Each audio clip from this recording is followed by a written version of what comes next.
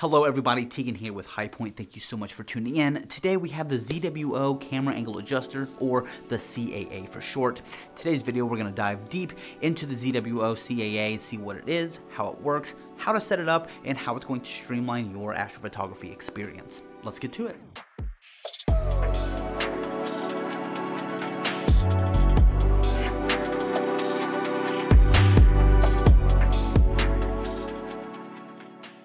So the ZWO camera angle adjuster is an electronic rotator that allows you to frame your deep sky targets with incredible precision. So for those of you who are imaging large celestial objects like M31 and or working across multiple nights, having the ability to rotate your imaging train to any orientation is a huge time saver. The CAA is nicely machined with ZWO's signature red anodized finish, so it comes as no surprise that ZWO produced another durable yet sleek aesthetic design. Alright, so now let's talk specifications and details. The camera angle adjuster offers a rotation speed of 7.5 degrees per second with a minimum step size of just 0.02 degrees. This level of precision ensures that the smallest adjustments can be made and the most precise framing of your target is possible. It's designed with 54mm threads on the telescope side, but if needed, you can adapt it to M48 threads using the included M54 to M48 adapter.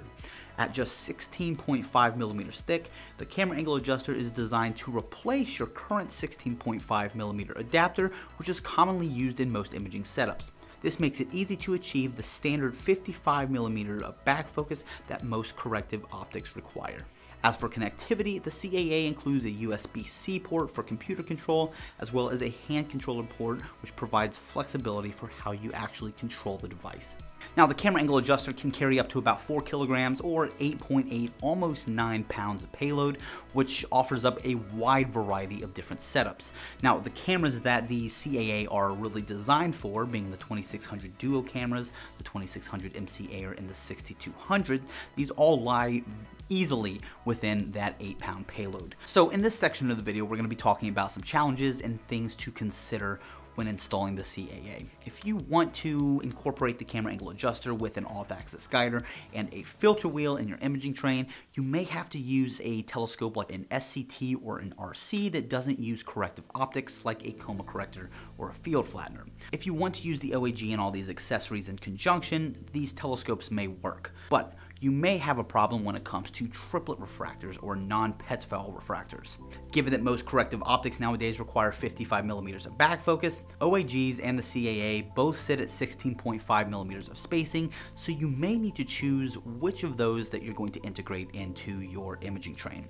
If you have a wide field refractor, an off-axis guider really isn't necessary, so the camera angle adjuster should be fine. Additionally, if you have one of the duo cameras like the 2600 MC Air like I will be using later in this video, it has an included off-axis guider and guide camera integrated inside the camera itself, so the OAG problem becomes a non-issue. All of that being said, if you take a look in the description below, you will find a link to an article written by one of our very own Edward.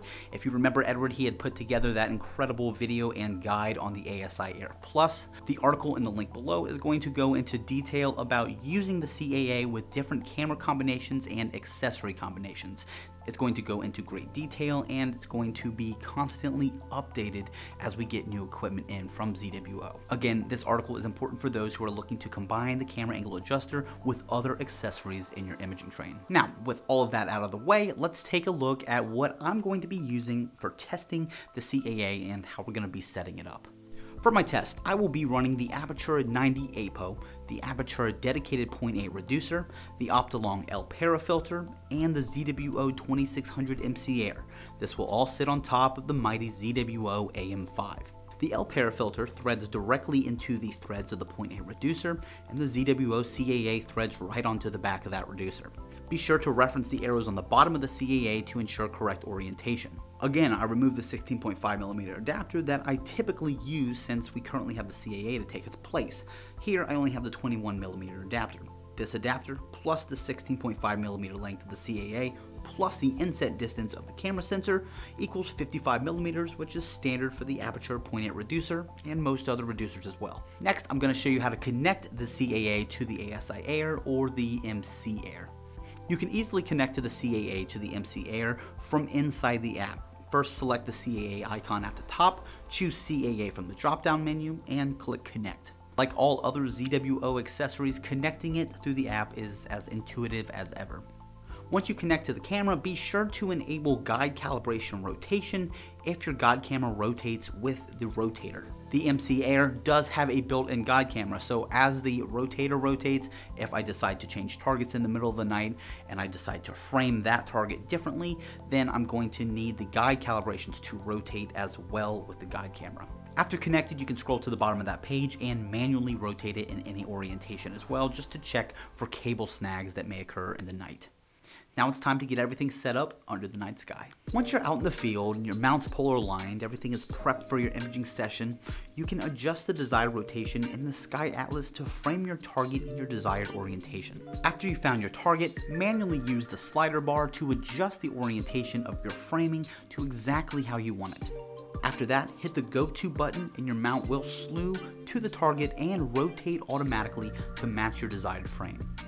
Tonight we'll be shooting the Rosette Nebula. Música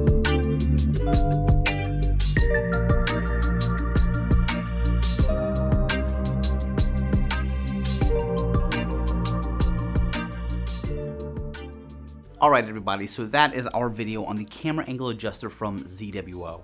Its precision, its simplicity, and its seamless integration into the ecosystem of ZWO cameras and accessories makes this the ultimate tool for any astrophotographer's toolkit. Whether your goal is to photograph large nebula or maybe it's simply to just get out there every night under the night sky, the CAA from ZWO is going to ensure that you get the perfect framing from night to night. If you have any questions at all, let us know in the comments below and we will be more than happy to assist. Additionally, we have provided a link in the description that takes you directly to the CAA webpage where it is available for order.